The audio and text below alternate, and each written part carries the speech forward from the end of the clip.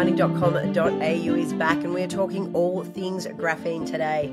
Joining me is Neil Armstrong, the commercial manager for First Graphene. Neil, it's great to see you again. How are you? Fantastic. It's great to see you again. Now, First Graphene has made a huge leap forward with one of their waterproofing solutions in cement, and it was trialed in uh, South Africa.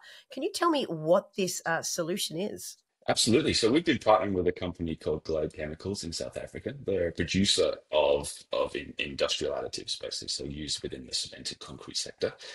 Uh, what they have demonstrated recently has been a significant step forward in the performance of the waterproofing additive. So this additive gets included into your cement batching, and what it does is it allows for uh, more durability properties to be imparted into the cement, basically targeting things like redu- reducing water permeability, so making longer lasting parts. What they've been able to demonstrate is by using small concentrations of our PureGraph into the blend of into the uh, actual mix of the so the same waterproofing additive has showed significant step forwards in the performance of these durability properties, so enhancing that even further than the additive alone. Uh, when it comes to durability, what's that time frame you're looking at? Because often when people report results on increasing in durability, it's very short term focused. That's absolutely right. So cement and concrete itself is you don't want something to be just better at day zero. You want something to be better 10 years from now. Uh, these things are put in place for lifetimes.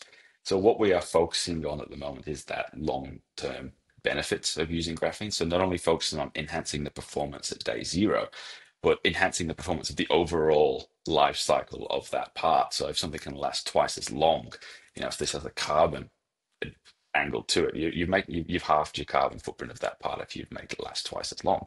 So our initial trials, obviously, this is a new development, so we are still in the relatively early days of of gathering these results, but we've done up to 400 day accelerated testing. So Glade have ran a trial uh, they're actually using it in quite a harsh environment. So they've made a concrete slab and it's for fire testing. So they're building structures on top of this slab and they're burning them to the ground, literally, and, and studying how they burn. So it's subjecting these, uh, the, the, actual cement itself to, to quite a harsh environment.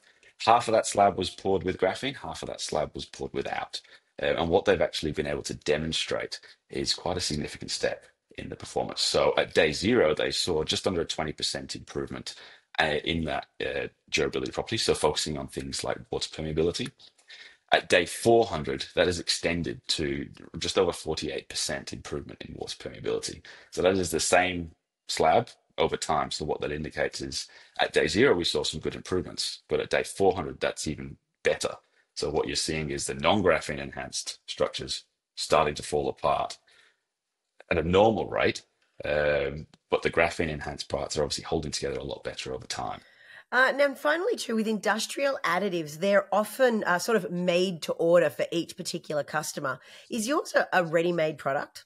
That's right. So, Glade have actually launched this into the market now. They have about five or six um, industrial clients using the material. They're making around about 50,000 liters of this additive a month. So, they're really doing this on scale. And that's often been a one of the main challenges of using graphene, particularly on the cemented concrete scale, it's often very easy to use graphene on a lab. It's a very controlled environment. You can dealing with gram or sub-gram quantities, but you really need to address the market properly. You need to be able to tackle this on hundreds of tons quantities.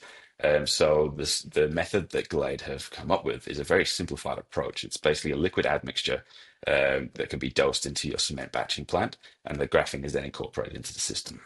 This sounds like a fantastic leap forward for PureGraph. Thank you for your time today, Neil, and I'll speak with you again soon. Thank you. Great to chat.